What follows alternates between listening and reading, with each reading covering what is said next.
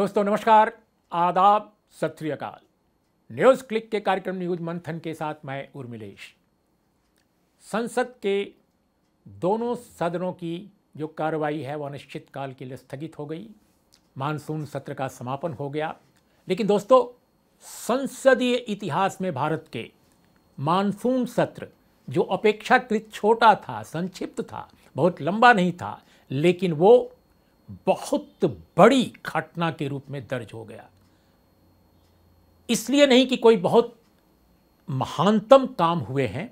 ठीक है, जब भी सत्र बुलाया जाता है तो कुछ अच्छे महान काम होते हैं और कुछ दुर्भाग्यपूर्ण भी होते हैं। कुछ ऐसे भी काम होते हैं जो इतिहास में दर्ज हो जाते हैं अपने विवादों के कारण, अपनी जो उसकी खासियत है, उसमें कहीं ना कहीं कोई ऐसी बात होती है जो संसदीय परंपरा के हिसाब से बहुत शानदार जिसको नहीं कहा जा सकता, बहुत चमकदार जिसको नहीं कहा जा सकता, बहुत शानदार नहीं कहा जा सकता। तो वैसा ही कुछ इस सत्र में हुआ है। जो सबसे दुर्भाग्यपूर्ण जो बात हुई है कि इस बार लोकसभा का एक और राज्यसभा के तीन सदस्य निलंबित किए गए। निलंबित भी कैसे किए गए साहब? लोकसभा के जो सदस्य हैं, आम आदमी पार्टी के एकमात्र सदस्य रिंकू जी, सुशील कुमार रिंकू, वो उपचुनाव जीत कर आए हैं। उनका कार्यकाल ज़ाहिर है, संक्षिप्त भी रहेगा। उनको भी पूरे सत्र के लिए लोकसभा से बाहर कर दिया गया क्योंकि उन्होंने जो दिल्ली का बिल था उसे फाड़ दिया था और बिखेर भी दिया था। अल्टीमेटम दिया जा सकता था। उनको चेतावनी दी जा सकती थी, उनको शिकायत उनकी दर्ज की जा सकती थी, लेकिन उनको पूरे सत्र के लिए बाहर कर दिया गया। चलिए, वो तो अपनी जगह है।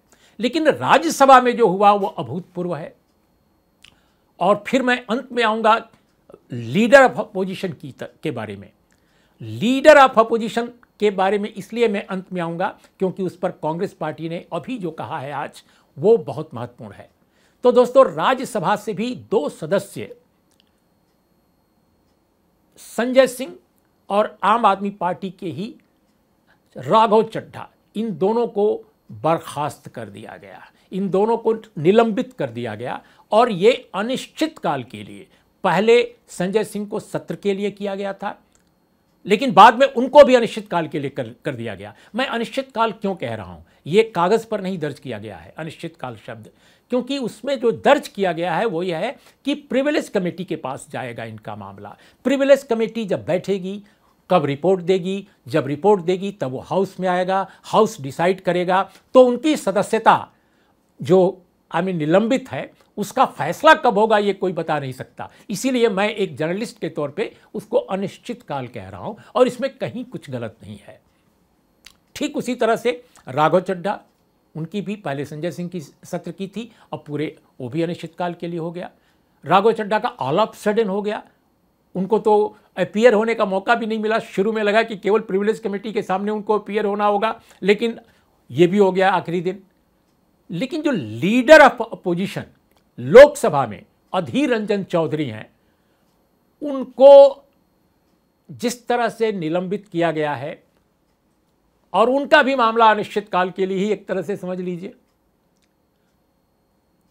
उनके ऊपर यह आरोप है कि उन्होंने प्रधानमंत्री मोदी का अपमान किया है। क्यों? क्योंकि उन्होंने सदन में कुछ ऐसे शब्दों का उच्चारण किया, कुछ ऐसे शब्दों का उल्लेख किया, जो इनको प्रधानमंत्री की गरिमा के लिए अनुपयुक्त माना गया या खराब माना गया। अब सवाल इस बात का है कि क्या वो असंसदीय शब्द थे? क्या वो अपशब्द थे? क्या वो अमर्यादित थे? इसकी बहुत सारी अलग अलग ढंग से व्याख्याएँ की जा सकती हैं और संसदीय मामलों के जानकार कर भी रहे हैं। मीडिया में भी ये बातें आ रही हैं। हालाँकि देश के मीडिया का एक बहुत बड़ा हिस्सा अब उस तरह की व्याख्याएँ नहीं करता, जिस तरह 2014 से पहले संसदीय कार्य की और संसदीय कार्यवाही की किया करता था। अब तो पार्लियामेंट रिव्यू भी आना बंद हो गया है। जो पार्लियामेंट सेशन का रिव्यू होता था, वो भी बंद हो गया है। लेकिन दोस्तों, ये ज़रूर मैं कहूँगा कि लीडर ऑफ़ अपोजिशन को इस तरह से बाहर करना, निलंबित करना इतिहास की पहली घटना है। जहाँ तक मैं समझता हूँ, जहाँ तक मुझे याद आ रहा है, भारत में जब से स्वतंत्रता के बाद पार्लियामेंट चल रही है, तब से मैंने किसी लीडर ऑफ़ अपोजिशन को निलंबित होते हुए कम से कम मैंने नहीं सुना है। हो सकता है कि मेरा इतिहास ज्ञान में कहीं कोई कमी हो, अगर कमी होगी तो मैं इसको करेक्ट करूँगा भविष्य में, लेकिन मैंने नहीं सुना है। तो मैं समझता हूँ कि ये संसद ने और संसद को जो संचालित करने वाले लोग हैं और जो सरकार जो इस तरह के प्रस्तावों को लेकर आई और सदन से एक तरफा वोटिंग करा ली, क्योंकि उस समय कोई नहीं था अपोजिशन का, और एक तरह से यूनानिमस फैसला करा करके और फिर डिक्लेयर किया गया। मैं समझता हूँ कि ये बहुत दुर्भाग्यपूर्ण है। मैं और तो कुछ नहीं कह सकता, लेकिन ये संसदीय मर्यादा, नैतिकता जिसकी दुहाई दी जा रही है कि इन्हीं कारणों से इनको निलंबित किया गया है उसके लिए भी दुर्भाग्यपूर्ण है। एक तो ये बात मैं कहना चाहता था जो इस बार हुआ है जिसको कम आ, कहा जा रहा है क्योंकि अब तीन ऐसे मामले आ गए हैं कि भाई सीआरपीसी को चेंज कर रहे हैं आईपीसी को चेंज कर रहे हैं एविडेंस एक्ट को चेंज कर रहे हैं तो सारा मीडिया का फोकस इस पर है और ज़ाहिर है बहुत महत्वपूर्ण वो खबर है उसमें हम आ, हम कभी ज़रूर उस पर भी बात करेंगे। आज हमने बस संक्षेप में ये बात कह दी कि उसके बारे में भी ये कहा जा रहा है कि अभूतपूर्व है। उससे भारत में कानून के इतिहास में नई घटना दर्ज हो जाएगी जैसे सस्पेंड करने से दर्ज हुई है। दोस्तों उसमें कई ऐसे मामले हैं जैसे राजद्रोह का मामला। अब कहा यह जा रहा है कि राजद्रोह जो है ब्रिटिशर्स ने अपने फ़ायदे के लिए किया ताकि भारत की कोई भी जो अवाम भारत के अवाम के से कोई भी आवाज़ ऐसी ना आवे जो उनके शासन व्यवस्था को चैलेंज करती हो। लेकिन दोस्तों राजद्रोह का भले ही वो आ, वो धारा हटा ली गई है उसकी जगह 150 आई है 124 ए संभवतः वो धारा है, जिसको हटाया गया है, और 150 धारा उसकी जगह पर होगी, लेकिन आपको मैं बताऊँ कि उसका जो दायरा है और बढ़ा दिया गया है। इतना भयानक बनाया गया है कि वो राजद्रोह क्या वो महाराजद्रोह बन गया है। और भारत सरकार, जो मौजूदा सरकार है, भारतीय जनता पार्टी की, वो कह रही है कि हमने तो बहुत उदार बनाया है। हमने अपने इथॉस के हिसाब से बनाया है। लेकिन दोस्तों, ये अंग्रेज़ों ने जितना बनाया था, राजद्रोह की धारा उससे एक हज़ार गुना कड़ी है, क्योंकि टेली कम्युनिकेशन आपके भाव भंगिमा आपकी सोच, आपका मज़ाक, आपका जोक कुछ भी राजद्रोह के दायरे में आ सकता है। अगर किसी को फील हुआ किसी बड़े आदमी को कि आपने उसका अपमान किया है अवमानना की है आपने राज्य सत्ता को इस, मा, इस माध्यम से चुनौती दी है या आपने आपने अलगाववाद को मज़बूत किया है आपने ऐसे लोगों को मज़बूत किया है जो भारत की आज़ादी के हिसाब से और भारत के जनतंत्र को भारत की व्यवस्था को भारत की सरकार को कोई चुनौती दे रहे हैं तो उन पर भी ये ये ये 150 धारा लागू की जा सकती है। तो इतना बड़ा दायरा किया गया और ऐसे अनेक प्रावधानों की मैं व्याख्या कर सकता हूँ लेकिन आज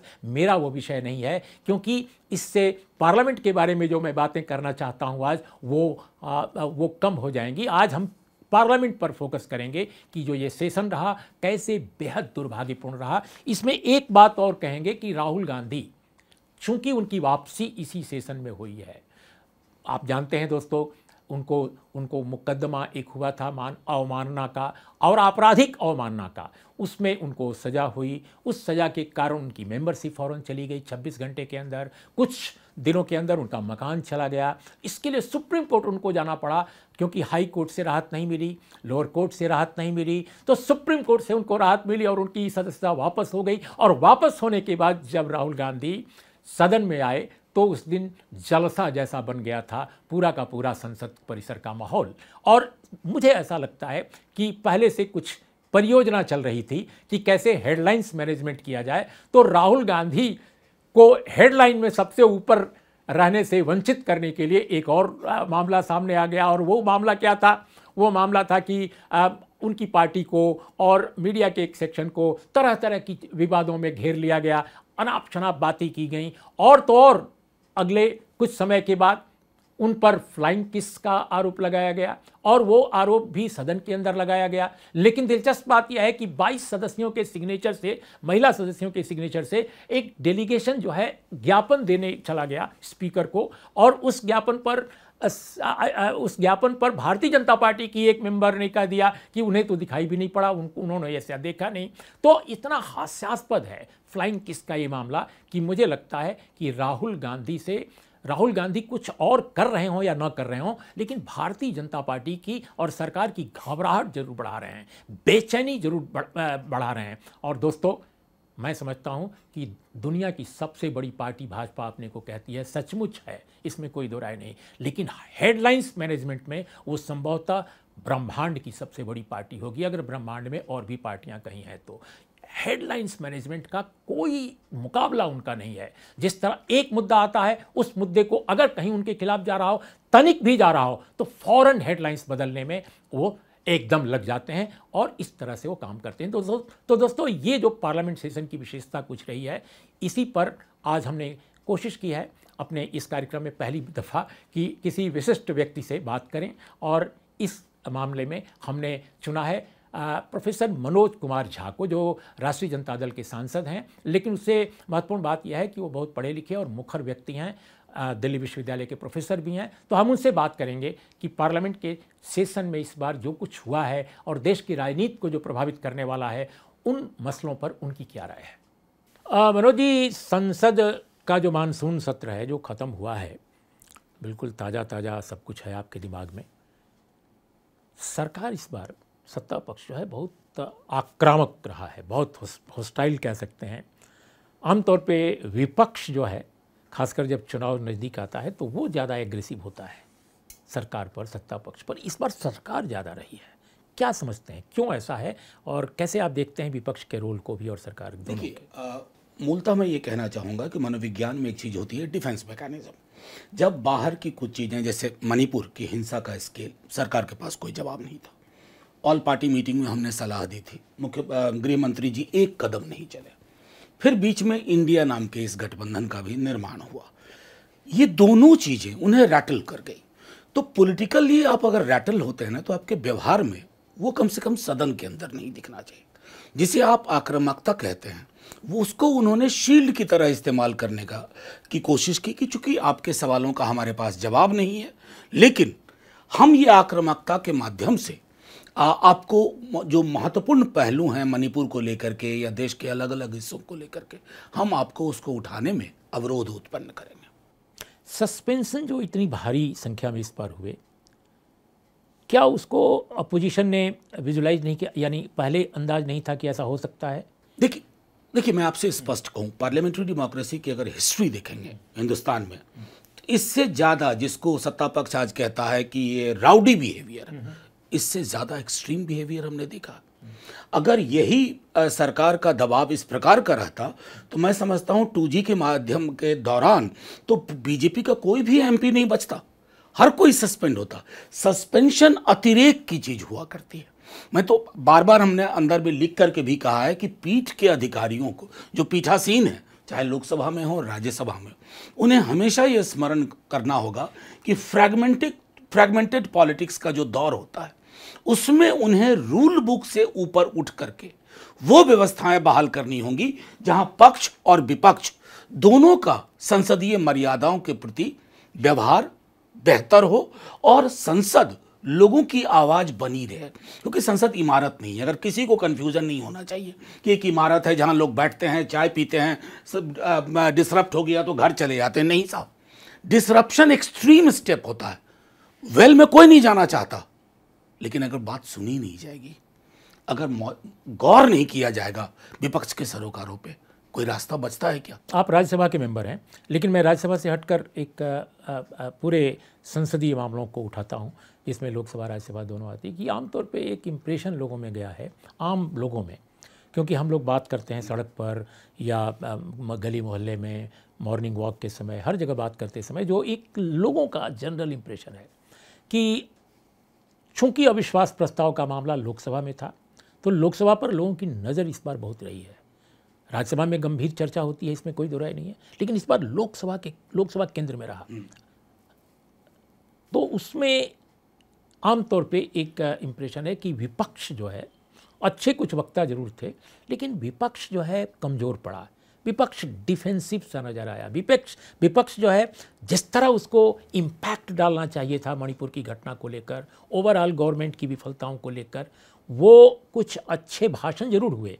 लेकिन कहीं ना कहीं वो कोई कमज़ोरी है, वो मैं नहीं जानता कि वो क्या है। कुछ लोग कहते हैं कि राहुल गांधी का, चूँकि उतना इम्प्रेसिव भाषण पिछले सत्र जैसा नहीं रहा इस बार।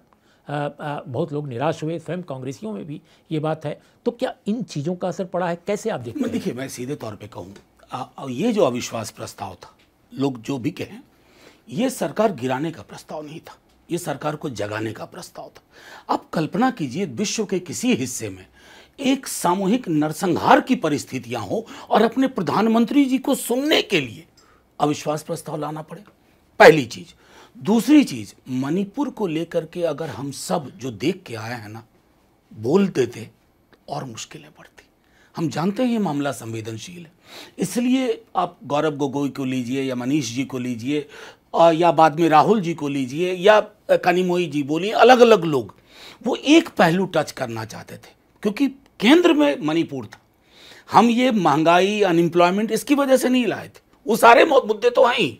मणिपुर को लेके आए और उसमें एक सीमा के बाहर जाना मैं समझता हूँ कि उचित भी नहीं होता। इस प्रस्ताव पर जो आखिरी दौर का अगर आप देखें क्षण, अचानक वॉकआउट कर जाता है अपोजिशन कुछ लोग कह सकते हैं कि चूँकि मोदी जी मणिपुर पर आ नहीं रहे थे, इसलिए अपोजिशन ने वॉकआउट किया तो ठीक ही किया। लेकिन मोदी जी शायद इंतज़ार कर रहे थे इसका। सरकार, सत्ता पक्ष, और जब वॉकआउट कर गए तो उन्होंने मणिपुर पर जो बोला। अब जो बोला, हो सकता है कन्विंसिंग ना हो हो सकता है उसमें उतने तथ्य ना रहे हों, बचते बचाते बोले, ताकि लगे भी कि बोल रहे हैं और न भी बोलें कुछ। लेकिन जो गौरव गोगोई, जो प्रस्तावक थे, वो चाहते तो आखिर में, चूँकि वो प्रस्तावक थे, प्रधानमंत्री के भाषण में उठाए मुद्दों पर टिप्पणियाँ कर सकते थे। ये अधिकार है लोकसभा में। तो या राज्यसभा में भी है संभवतः। तो ये जो आ, एक इम्प्रेशन गया लोगों में कि walkout was not a great study नहीं देखिए ये हर दौर में आपको हर चीज़ को पार्लियामेंट्री डेमोक्रेसी में एक अलग नज़र से देखना होगा। पौने दो घंटे तक प्रधानमंत्री जी बोलते रहे। प्रधानमंत्री जी के अपने स्तर से भी उनका वो भाषण उस दिन मतलब मैं साफ़ कहता हूँ मैं मणिपुर के उन रिलीफ कैंप्स में गया था। महिलाएँ बच्चे वहाँ टीवी सेट्स के सामने बैठे होंगे सुनने के लिए कि प्रधानमंत्री जी क्या बोलते हैं? उपहास तंज चुटकुले व्हाट्सएप वाली फूहरता मतलब मैं बता रहा हूँ, मुझे बेहद कष्ट हुआ। अगर मुझे कष्ट हुआ और मणिपुर में जो उसका मैसेज गया है, वो आप लोगों को खुद भी पता चलेगा। उसके पास बाद विपक्ष के पास कोई विकल्प बचा था? अतिथि जीवी बन रहे हैं आप? कि इस साल में ये हुआ था? Does it justify your wrong doings और प्रधानमंत्री जी, ये भूल गए कि वो देश के प्रधानमंत्री हैं। लेकिन अमित शाह का भाषण अगर देखा जाए ओवरऑल तो वो ज़्यादा इम्पैक्ट नहीं नहीं इम्पैक्ट देखिए मैं ओरेटरी और रेटरिक को इम, के इम्पैक्ट को जज करने नहीं बैठा हूँ। मैं बैठा हूँ कि मणिपुर के लोगों को जो संदेश चाहिए था वो मिला। न्याय का की गारंटी नहीं मिली। मणिपुर के लोगों को हीलिंग चाहिए थी मिली नहीं मिली। ये जो वॉट अबाउटरी है कभी ऐसा हुआ था कि एक फोर्स दूसरे फोर्स के खिलाफ एफआईआर कर रही हो? इस तरह की परिस्थितियाँ। अतः विपक्ष के पास उस उपहास जहाँ अट्टाहस हो रहा है नारे लगवाए जा रहे हैं। मोदी मोदी। शुरू में लोगों ने कहा इंडिया इंडिया। तो व्यक्ति बनाम देश सब बनता जा रहा था। कोई विकल्प नहीं बचा था सर। क्योंकि अगर वॉकआउट नहीं करते तो शायद प्रधान प्रधानमंत्री जी और गरिमा अपनी स्वयं की गिराते और विमर्श की गिराते। आपको अब क्या लगता है जब सेशन अनिश्चितकाल के लिए स्थगित हो गया है और आ, चार चार चार चार सस्पेंशन हो गए तो आखिर कहाँ जा रहा है? देश की राजनीति किधर है और उसमें विपक्ष का रोल अब क्या है? देखिए, हम लोगों को सर बहुत सिले से सोचना होगा। हमारे एक साथी हैं विवेक तनखा जी, उन्होंने एक पत्र भी लिखा है। और जैसे इंग्लैंड में एक दिन होता है विपक्ष को समर्पित। विपक्ष ही मैनेज करता है, एजेंडा वगैरह सब कुछ। कुछ उस तरह की विधा, कुछ उस तरह के उपकरण लाने होंगे। सर, हम चूक रहे हैं अपनी पार्लियामेंट्री डेमोक्रेसी में। पार्लियामेंट्री डेमोक्रेसी का ये नहीं होता कि रूल का आदर करते हुए ज़ुबान पे पट्टी बाँध के रखो अगर मणिपुर पर कुछ हो रहा है। रूल का मतलब होता है कि it should be flexible enough to accommodate every वो चीज़ हम चूक रहे हैं, लोकसभा में भी और राज्यसभा में भी। आपके जो सुनने देखने वाले होंगे, क्या वो सस्पेंशन नहीं देख रहे होंगे? संजय सिंह का सस्पेंशन मैं गवाह हूँ। 267 को लेकर के हमारी लगातार मांग हो रही थी। वो आगे बढ़ गए। वेल में पहली बार गए क्या संजय सिंह? या कोई भी? मैं बार बार कहता हूँ कि जब कभी सत्ता पक्ष इस प्रकार की हरकतों पे आए उन्हें अपना व्यवहार पुराना देखना चाहिए। मैं ये नहीं कहता हूँ कि डिसरप्शन लॉलेसनेस होनी चाहिए। बिल्कुल। नहीं। लेकिन अगर आप कॉरिडोर बंद करेंगे संवाद का सुनेंगे नहीं तो लोगों के पास विकल्प नहीं तो बिल्कुल आखिर में मनोज जी क्या आप ये कहना चाहते हैं कि जिस तरह हमारे समाज में डेमोक्रेसी का कंटेंट कम हो रहा है ठीक उसी तरह से देश की जो पार्लियामेंट है जो जनता का सर्वोच्च संस्था है सर्वोच्च संस्था है डेमोक्रेसी में क्या वहाँ भी उसका रिफ्लेक्शन है? वो भी अभिव्यक्त हो रहा है जिस तरह समाज में गायब हो रही है डेमोक्रेसी नहीं बिल्कुल आपने बिल्कुल वो बात कही जो जिस पर मैंने लिखा भी और जिस पर आपके सरोकार बिल्कुल उपयुक्त है। जितना समाज विभाजित है जितना अलोकतांत्रिक समाज बनता जा रहा है जहाँ पीड़ा दे करके लोग व्हाट्सएप वीडियो भेजते हैं कि फलाने समुदाय को पीड़ा हुई लेट्स सेलिब्रेट इट आज कमोबेश, वो जो समाज की जो वो कुरूप छवियाँ हैं, वो हमारे संसद में भी पहुँच रही हैं। अब इसको दुरुस्त करने के लिए संसद के बाहर भी प्रयास करने होंगे, संसद के अंदर भी। शुक्रिया मनोज जी, नमस्कार। तो दोस्तों, आज हमारा कार्यक्रम कैसा रहा, आप ज़रूर बताएँगे। तो आज इतना ही, नमस्कार, आदाब, सत श्री अकाल।